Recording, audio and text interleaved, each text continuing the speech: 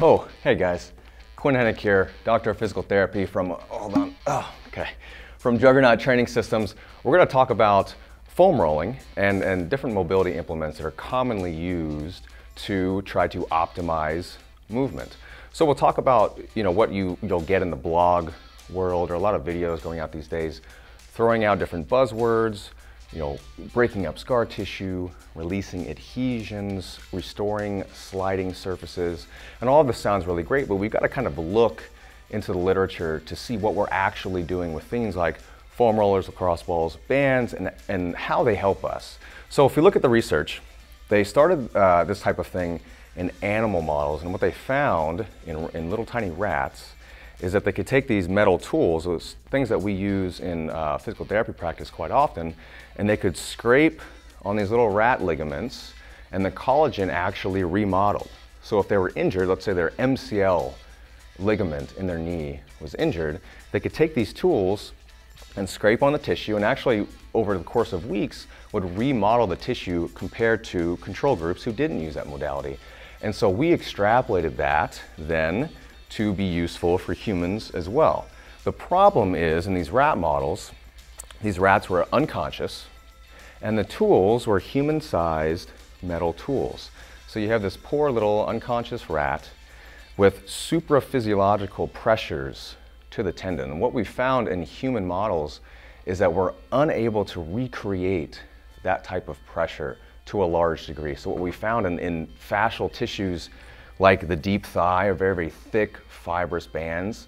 It takes thousands of pressures, thousands of pounds of pressure of force to make 1% shear in those tissues.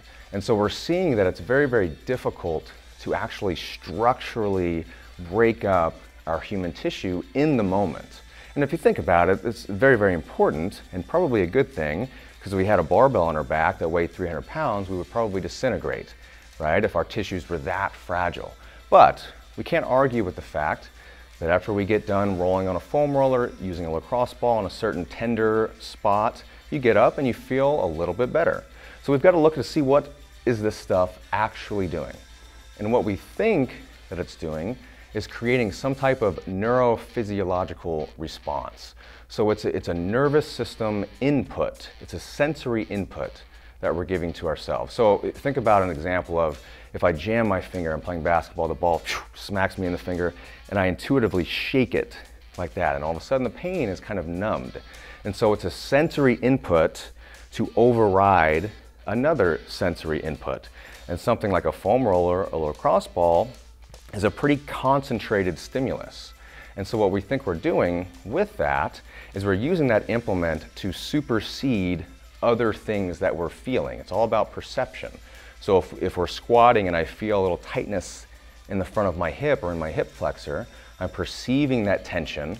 I roll on a foam roller, I get up, I squat again, and that tension is lessened, but I haven't structurally on a cellular level broken up the muscular molecules or the fascial tissues. We just, it doesn't work like that. Our tissues are more resilient than that.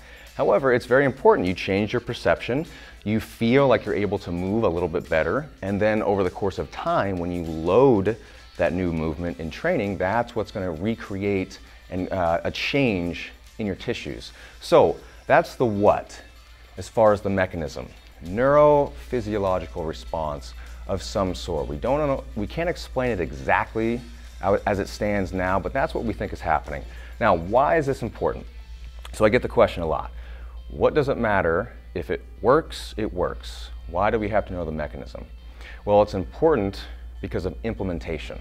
So what we see a lot, and, and I kind of have my own little corner in the gym and I'm you know, looking at the entire facility, I'm judging everyone, you know, that's what I do as a physical therapist. But I see people spending 20, 30, sometimes upwards of 45 minutes on a foam roller, you know, going from head to toe, every square inch of their body. And so if we think about the mechanism, if these are short-term neurophysiological changes that we're creating, they're not going to last forever. And so if you spend 10, 20, 30, 40 minutes on a foam roller, you likely have lost the short-term benefit from the first five or 10 minutes. You would have to do that area again. And so the, the, the importance here is implementation and duration.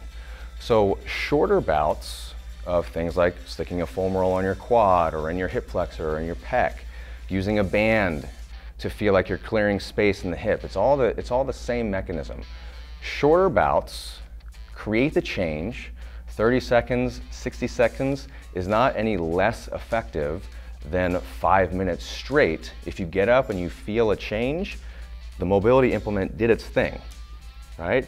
So then when do we implement something like that? If we know, okay, shorter bouts, in between your movements or in between your warm-up sets of your training lift is a great time to go back and use a mobility implement because it's in between your warm-up sets. What you can do is 20, 30 seconds, foam roll, whatever feels tight, and then you're right into a loading strategy. So we'll take a squat, for example.